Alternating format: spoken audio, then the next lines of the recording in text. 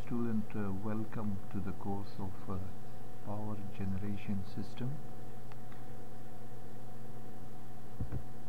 Today we are going to study the schematic arrangement of nuclear power station. In this we have uh, the most important one that is the nuclear reactor then heat exchanger and uh, steam turbine and alternator.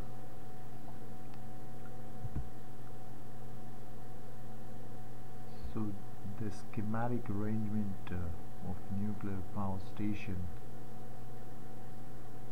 is uh, shown in this figure that uh, we have a nuclear reactor then a heat exchanger in a turbine an alternator and then a transformer. Down we have a condenser and cooling tower a circulating water pump. So we will study the important part of this nuclear power station. The whole arrangement can be divided into the following main stages that is the nuclear reactor, heat exchanger, steam turbine and alternator. First we will study the nuclear reactor. So nuclear reactor is an apparatus in which the nuclear fuel that is U-235 is subjected to a nuclear fission reaction and it control uh, the chain reaction that starts once the fission is done. If the chain reaction is uh, not controlled. The result will be an explosion due to the fast increase in the energy released. So a nuclear reactor is a cylindrical form vessel and it have fuel rods of uranium, a moderator and a control rods. So it is the main and important part of the nuclear reactor. And it has three main things. That is the fuel rod uranium fuel rods of uranium moderator and control rods. The fuel rod have the fission materials and release huge amount of energy when bombarded with the slow moving neutron. The nuclear fission is done by bombarding bombarding uh, uranium nuclei, with the slow moving neutron. In this way the uranium nuclei split and uh, release amount of energy and emission of the neutron called the fission neutron. And this fission neutron cause further fission mean 1 divided into 2 2 divided into further 4 and so on. If this process is continue and not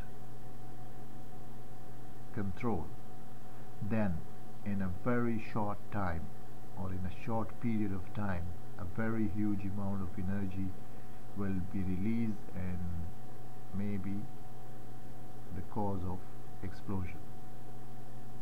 So that's why we call it explosion chain chain reaction. We call it explosive chain reaction. But as we studied in reactor the controlled chain reaction is allowed mean it is uh, the reactor have control over this uh, reaction. This is done by removing the fission neutron from the reactor. The greater number of fission neutron removed the lesser is the intensity fission rate of energy release mean the neutron is removed uh, in the process. So less neutron remain and hence the reaction is controlled.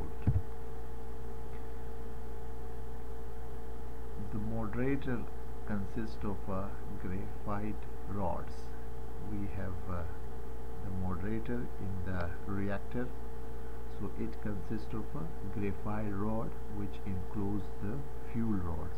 Mean it is uh, over the fuel rod. The moderators slow down the neutron before they bombard so its work is to slow down the neutron before they are bombarded on the fuel rod the next one is the control rod out of cerium and are inserted into the reactors. Cerium is a strong neutron absorber and thus controls the supply of neutrons for fission when the control rod are pushed deep uh, enough they absorb uh, most of the neutrons and hence few are available for the chain reaction which therefore stops. So uh, control rods are of cerium and it is uh, inserted into the reactor. Cadmium have the ability to absorb and control the supply of neutron for fission. This is the nuclear reactor we have uh, the control rods. This is the uranium this is the pressure vessel and a moderator. We have three main thing in this reactor. The first one is the control rod then uranium and then a moderator graphite and this is the whole reactor and this is the coolant for the purpose of cooling uh, cooling and water enter here and the steam out there. So this is a coolant circulating pump. Around these rods we have a coolant.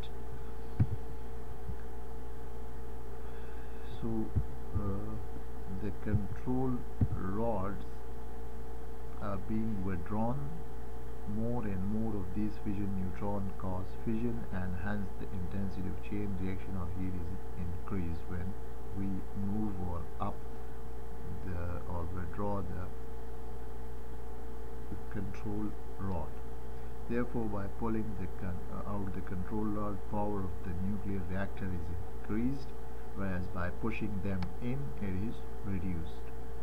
So, pulling up will reduce the power of the nuclear reactor, and by pushing them in, it is reduced.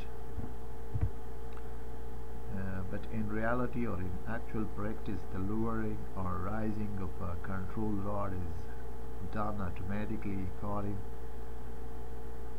to the requirement of loads uh, mean if we have a high load so we will pull the rods in if we have less load we uh, in it into the vessel the heat produced in the reactor is removed by the coolant so definitely the heat is uh, produced and we use coolant to remove this heat. Generally a sodium metal, the coolant carries the heat to the heat exchangers. So this is uh, about the nuclear reactor. Next we have heat exchanger. The coolant gives up heat to the heat exchanger which is utilized in rising the steam after giving up heat, the coolant is again fed to the reactor. So what heat exchanger do is that the coolant gives up heat to the heat exchanger and it is utilized in rising the steam uh, when giving up the temperature the coolant is again fed to the reactor. This is uh, also shown in the diagram. It is circulating water pump and this is the heat exchanger. When the, from nuclear reactor hot um, product come and heat exchanger take its heat to rise the steam and steam is given to the turbine and the turbine well uh, connected or coupled with the alternators next we have a steam turbine. The steam produced in the heat exchanger is led to the steam turbine through a valve after doing a useful work in the turbine the steam is exhausted to the condenser and the condenser condenses the steam which is fed to the heat exchanger uh, through feed water pump. So after the steam is produced uh, in a heat exchanger it is given to the turbine through a valve and after doing a useful work in the turbine the steam is exhausted to condense and then it is recycled. The condenser the steam uh, is fed to the heat exchanger through feed water pump. So this is uh, about uh, steam uh, nuclear generator uh, power plant. And then after it we have uh, alternator. It works the same in the same manner as other uh, plants or power plant we have studied. So with the turbine an alternator is coupled and it convert the mechanical energy into the electrical and then we have a step up transformer and transmission line whatever we have and this is the exciter. Uh, we use exciter in alternator uh, for uh, to run uh, to run the alternator. So thank you for today and we have studied the schematic arrangement nuclear power station in which we have studied the nuclear reactor. It is the most important part. Uh, all the processes have done inside the nuclear reactor then uh, outside we have heat exchanger. And then this heat exchanger give uh, steam to the steam turbine and then this steam turbine is coupled with an alternator which run the alternator and this way uh, with the help of nuclear power station we produce electrical energy